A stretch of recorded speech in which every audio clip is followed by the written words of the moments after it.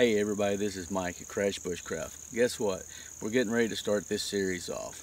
What I wanted to do was was make this the most simplest way to do it without going into top end gear and exploding our minds with every website that I can think of to buy that gear that you need for bushcraft. Well, guess what?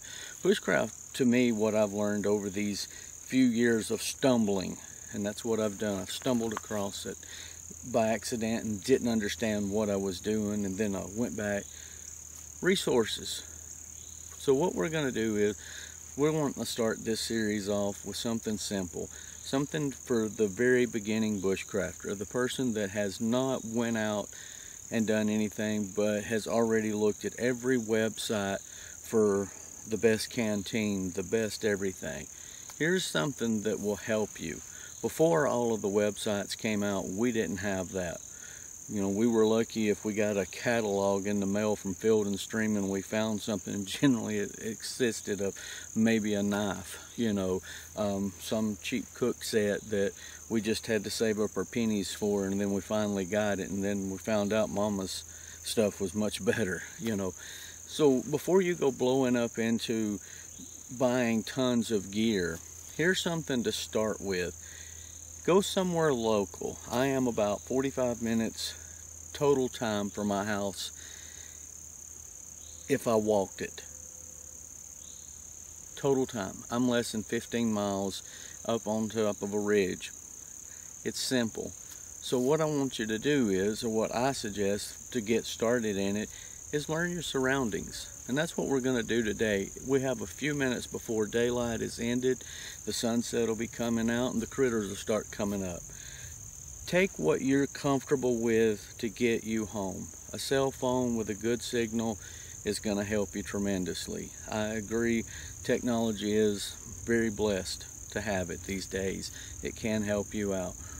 Go out and be as safe as possible, but go somewhere that you can just listen. Go out somewhere to where you can see things with your eyes, your perspective, and what resources are available to gather. That is the first step in learning to be an outdoors person. If you've not gotten there, whether you want to do bushcraft or you want to be called a woodsman or whether you want to do primitive skills, you need to know your surroundings and what is available. So let's take a quick look at getting some fire resources. Here we have a very simple, easy gather in the winter time. This one here is not quite 100% ready, but it will get you. Notice how brittle it can be. See all those little tiny fibers? Those things will ignite quickly. You want to listen for a snap.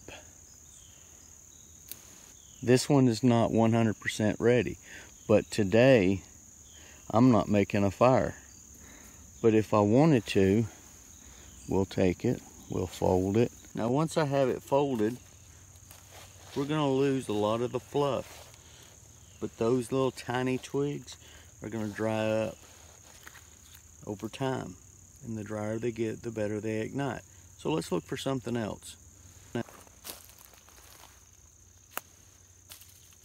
you see that? Some more resources that we can gather up. We just need the end off of it. As you can see, there's three more, and there's a whole lot of them out there. We're just gonna grab three today, plus the one, which will give us four. Here's some more resources of the same stuff. So we'll grab us up some of those. Notice I'm only getting the tops off of the ragweed. That one there was almost a snapper.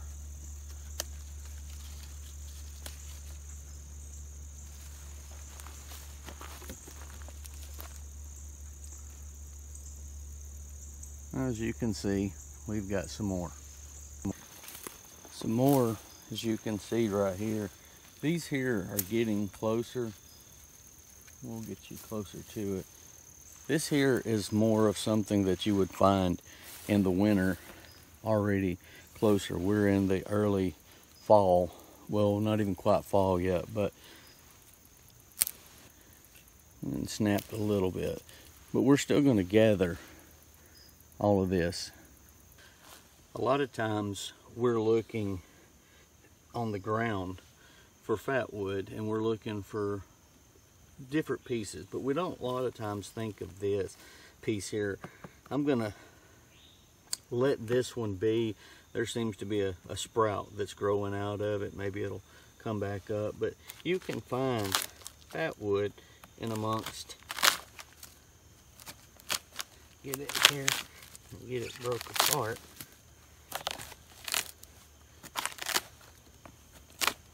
you'll find it especially close to these knots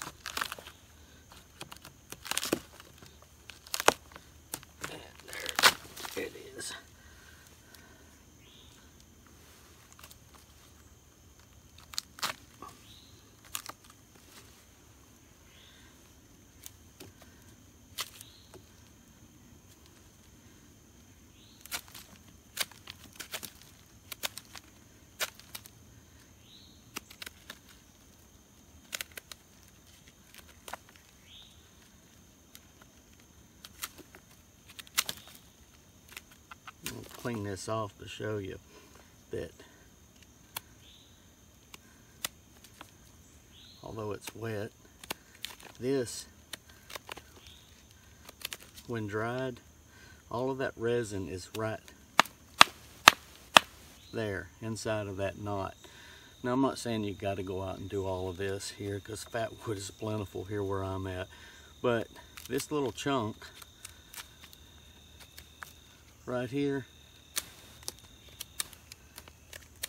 Just set it home, let it dry out. Will give you plenty of fire once you get it going. That's the little piece. This is a solid piece inside of there. This is going to be put in my little thing here for right now, and it's for a later use.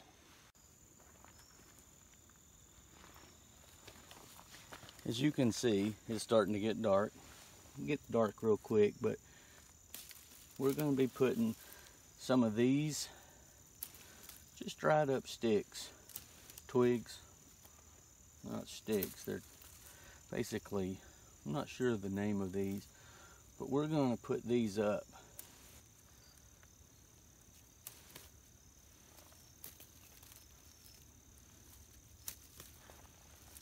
We're gathering up a good bit of them because they're very thin. drop off some of the green so we don't have to worry about them. I'll look that up if you just need to know and tell you, but you may already know. I don't care what I'm getting, I just know what I need to get.